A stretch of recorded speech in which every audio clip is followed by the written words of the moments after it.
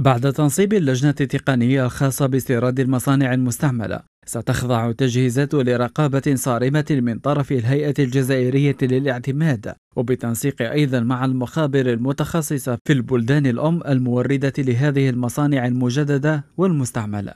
في حالة ما الجراك اللي معتمدة على مستوى الوطن ما عندهاش القدرة أنها تتنقل للخارج.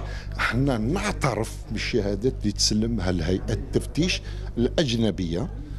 لما نتأكد باللي هذه الهيئات تفتيش معترفة من طرف الهيئة الوطنية للاعتماد في البلد أصلي وعندنا اتفاقيات تعارف متبادل بيننا.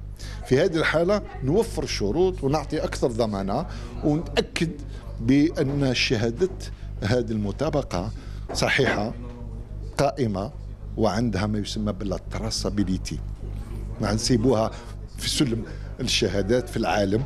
خبراء القطاع الصناعي يتوقعون أن تكون التكاليف منخفضة عند استيراد العتاد المجدد خاصة بالنسبة للشركات الصغيرة التي بدأت الإنتاج حديثا nos entreprises algériennes de, euh, de, cette, de cette opportunité. Il y a aussi carrément, il y a des usines actuellement dans, dans le monde entier, je, pas uniquement en Europe, mais dans le monde entier, euh, des fois qui sont euh, euh, où l'entreprise, par exemple, euh, déclare faillite. Donc alors que les équipements euh, sont toujours en bon fonctionnement, on a la possibilité de les acquérir avec, avec ce dispositif.